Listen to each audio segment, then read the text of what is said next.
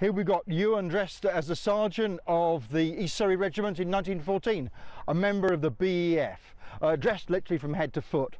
On those feet, we've got a pair of boots, ankle boots worn with puttees, stop mud and dirt getting into your boots. Then above that, trousers and a tunic.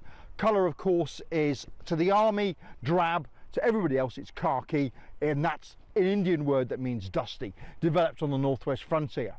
Set of equipments takes 150 rounds, two pints of water, head for the entrenching tool, and on the other hip we've got his rations, we've got the bayonet, and the, actually the handle for the entrenching tool. Uh, you're wearing it for the first time. How does it feel? It feels very hot, it really does, and uh, really quite. I'm quite enclosed in it. I can't. I've, I've not got any scope to move about. Kind of.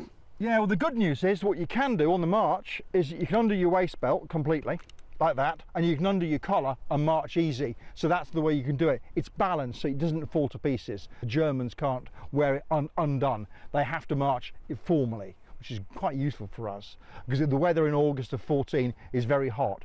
And on your back of course you've got everything else you might need. Can you spin round? Just shows the back and here's then the large pack. This won't be continue to be worn for much longer because it really is cumbersome. In there we've got your mess tin so you can do your cooking. You've got your spare pants spare socks and a great coat something to sleep in at night or wear when it rains. And if you just turn around again on your head no protection at this point in the war you've got your cap with your cap badge. Plenty of detail there um, but obviously lots of regimental pride as well